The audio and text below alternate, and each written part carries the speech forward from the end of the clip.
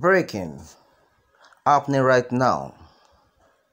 Igbariam in Anambra State, and it has been gathered that suspected Fulani herdsmen allegedly attacking residents of Igbariam town in Anambra State. Alright, the news in details. Local residents revealed that the attack have prompted students at the nearby Odumegwu Ojukwu University to take their belongings and run for their lives. Alright, and then the assailants are reportedly going from house to house killing innocent citizens in Igbariam, which is reportedly at Oyi local government area of Anambra State, close to the famous Akuzu SAS. Alright, other reports indicate that a Fulani family was killed in Igbariam, Anambra State, near Odumegwu Ojukwu University, but some individuals are trying to twist the narrative.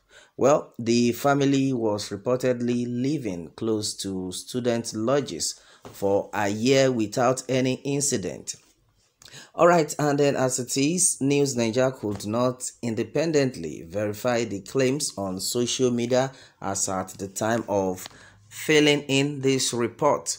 All right, and then as it is, there's been a lot of reactions onto this. Okay, and then a lot of people have been able to say that this attack is coming from the Fulanis and the opposition political party. All right, there's a video going viral onto this as the Fulani S-men are busy walking around to kill people from house to house. All right, and then as it is, a lot of people have been like, what is going on in this country? What is happening in Nigeria? Well, it is better everybody go his separate ways. We've heard a lot of things concerning this. Some people have been of the opinion that, well, the, the exact people that are doing this operation are the enemy of the government. And then some people have even you know, said it to be that these same set of people that are you know, invading people's houses they are international fulani. That's another one. A lot of people are like which one is international fulani?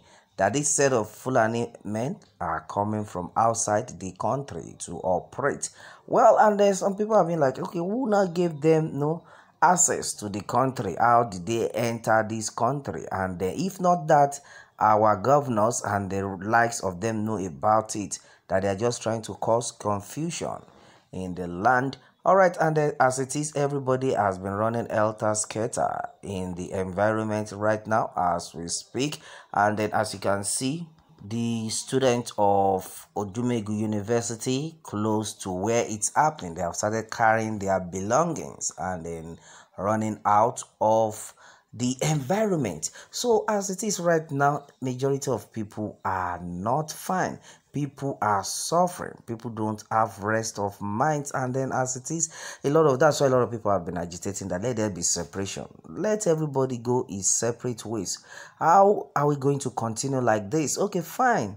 They don't want the esn to operate. Okay what about the Ebube Agu security network? What are their functions? Have they started? When are they going to resume? Let's see what they want to do. That's another thing. A lot of people have been you know, asking different kind of questions simply because we can't continue like this. And then the whole thing has been so frustrating to the extent that everybody is now running elter skelter. All right, and then everybody is now calling on the governor of Imo State to do something, the governor of Anambra State to wake up, the governor of Abia State, and then the rest of the governors, Egunugu and the likes of them, that they need to wake up. This is the time the people want them. This is the time the people need them to put action in places. Well, and then as it is, you can see them. They are walking from house to house that's what we have gathered so far. Then who are they looking for? That is the problem. They are looking for human being to devour. They are looking for human being to kill. And then in a country whereby we have you no know, leaders, a country whereby we have things that people that are saddled with the responsibility to take care of us and then look at what is going on in the country. But a lot of people in their own environment, they might not know what is happening. But as far as this area, Anambra State is concerned, a lot of havoc is being perpetrated, and then a lot of people have been like, God, what is going to happen to us in this nation? It's better we separate. All right, and then as it is, there there are still been uh, some cases whereby the agitator of the Oduduwa Republic have been facing a lot also. Well, because the early hours of this morning it was gathered that some gunmen invaded the house of Sunday Igboho talking about the Yoruba activists right now. And then, as it is, according to Koiki Media, it has been gathered that they were unable to penetrate, but they can always do what they can do. Gunshots everywhere outside, but they can't penetrate. And a lot of them have been like, this time around, there's no going back. This time around, we must continue our agitations. There's nothing anybody can tell us. All right and then many people many things many things have been heard rumors that the sponsor in fact the people that have been behind this you know this uh, southwestern state disturbances, disturbing of Sunday Igboho's and the rest of them have been no other person than Bola Ahmed Tinubu. That's what had been gathered. But a lot of people are still like, hmm, what is actually going on? Is it because of position?